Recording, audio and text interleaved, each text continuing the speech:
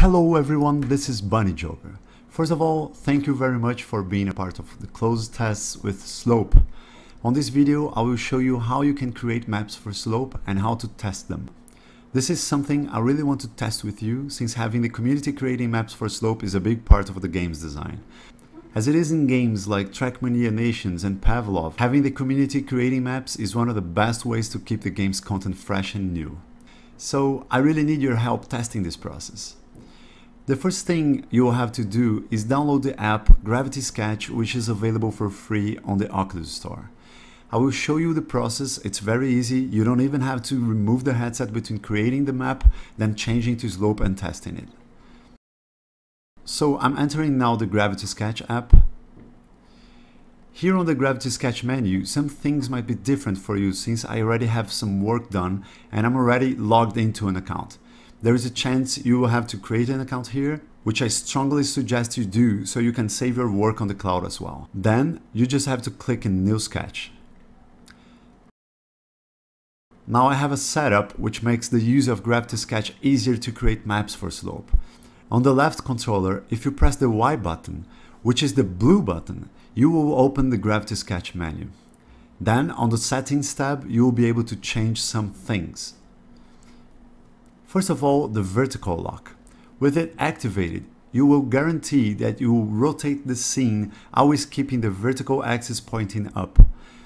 If this is not activated, you will be able to rotate the scene on all axes.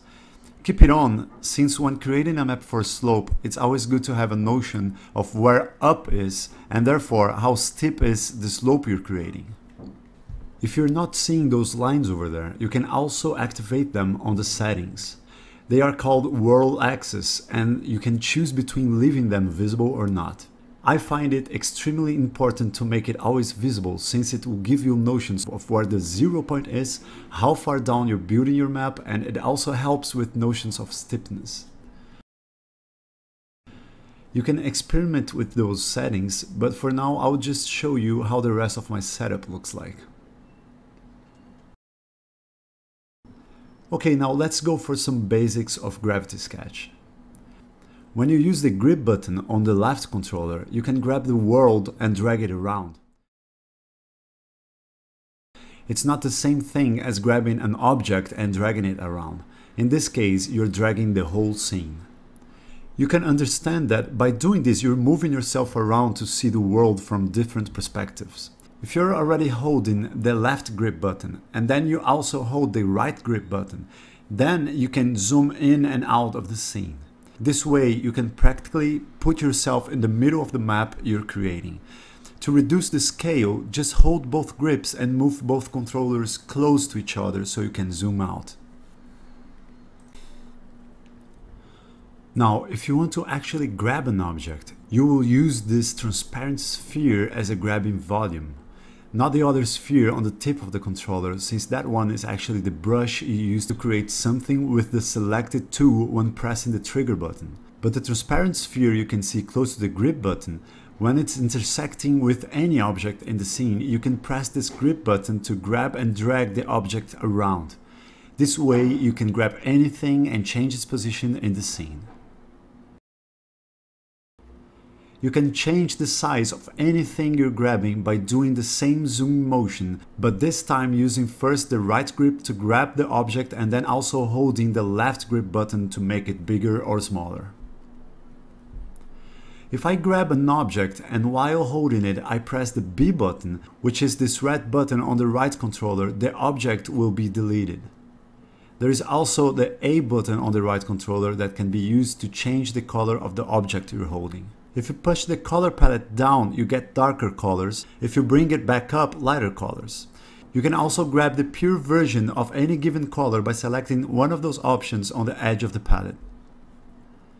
So I selected pure yellow for that object and it also selected yellow for any new form I will create from now on. The right thumbstick can be used to increase or decrease the size of the grabbing sphere. With a small size, you can be specific of what you want to grab. With a big size, you can grab several objects at the same time. You can grab multiple objects and press red button to delete them all at once. I'm using this to clear the scene now. I will now start creating a map for Slowp and show you this process and how simple it is. First thing I'm going to do is press X on the left hand, which is this purple button. When I click it, it will show all different creation tools you can use. The one I consider most useful for creating maps for Slowp is the surface tool. You can use it especially for creating the slope. With surface selected, I can close this menu if I want. So how does this tool work? When I press any of the trigger buttons, it will show a curve between both controllers. You can see that depending on how I rotate both controllers, it bends this curve. As soon as I press the trigger on the other hand, I start drawing a surface. I can make it thinner when I bring them together or wider when I move them apart. I can put them up or down, tilt them and more. So very quickly I've created something that can be used as a slope. Let's create another one. So I'm grabbing it with the right grip button, pressing the red button to delete. Now the game will recognize different materials based on the color you use for each object in the scene. For snow I have to use white. So now I will create the map I want to actually test inside the game. I will start by making a flat surface, going down a little bit. Now I will make it a little bit wider. Then a small bump here. Descend a little bit more and stop here. It could be better, but let's just consider this is the map I want to test. Once you have it created, you can adjust its rotation. Let's say you want it a little bit steeper. You can use the blue axis to help understand how steep your slope is. One thing to consider is that when you look at this axis from up close, you will be able to see that one of its sides is thicker than the other. The thick side is the positive side for this axis. Try always to create your map towards the thick side. This way you will guarantee that the player will start the map facing forward. So before I show you how you can edit this curve you created to adjust things, let's just go ahead and test this map. There's only two more simple things to do if you want to finalize a map which you can test. One of them is creating a blue cube, which will be the start point for the player. So I will open the tools menu again, pressing X on the left controller. I will select this tool used to create primitive objects Pressing it twice will open a submenu with options for me to select. You can do this for any tool. For instance, you can make the surface tool have a much stronger curve by changing its options. But going back to the primitives, now I will just select the cube, close this menu using the X button. Now just by pressing the right trigger, you can use both controllers to choose the size of the cube you're creating. Choose it wisely because the size of the cube will define the size of the player compared to the rest of the map. I just created it and it's still a little big, so I will grab it with the right controller, then while holding it, grab with the left controller and make it smaller. Then I will grab it again, press A and select the pure blue color for it. With this, I just created the spawn point for players that will play this map. This doesn't have anything to do with where the zero point is. I can choose any place for this cube and that's where the player will spawn. The last thing you have to do is create the ending point of the map. Since it's represented by a black cube, I would just clone this cube I've just created.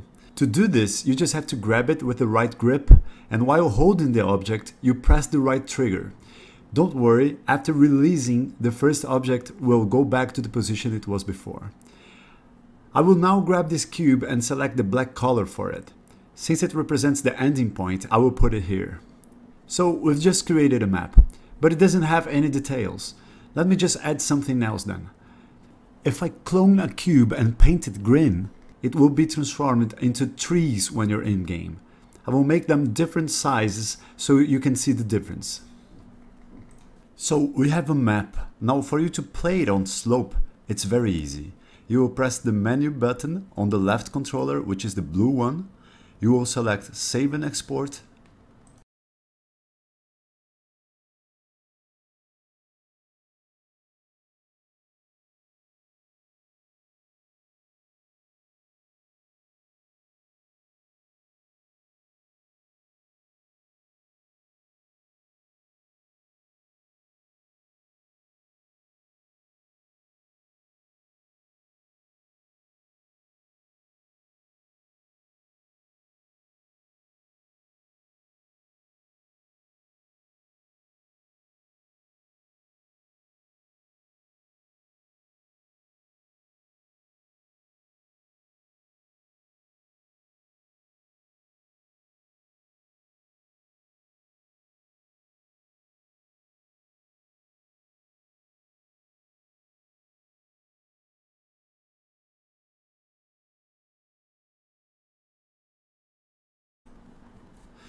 Now use the quest menu to exit Gravity Sketch.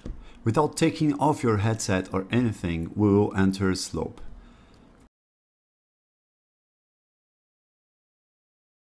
Now inside Slowp, I will open the Games menu. And now here on Levels, the maps you exported on Gravity Sketch will be listed. If you can't see it, use the left thumbstick to navigate right or left inside the Levels section. I'm seeing tutorial 1 here, I will press import. It's imported now. If your map is a little complex, there can be a greater time for this process to happen. After import is done, I will press load with the right trigger. And now I'm here inside the map we've just created. Now I will walk to the edge using the walking mode. I release the walking button and here I am riding on the map I created. Getting to the end, it teleports me back to the beginning. You can see that when this happens, the mood and sun position changes. So this is the process of quickly creating the map. You can see those trees came out kind of small. On the next video, I will show you how you can edit objects to change their shape. I will also show you how to create other kinds of objects like rails, rocks, ice and much more. This is the process I use to create all maps you can see already available. Thank you very much for joining me on this tutorial and I hope you can create your maps already. And after you do this, submit them because I want to play on them. this is you helping us create content for the game. It's very important. Thank you very much. Bye bye.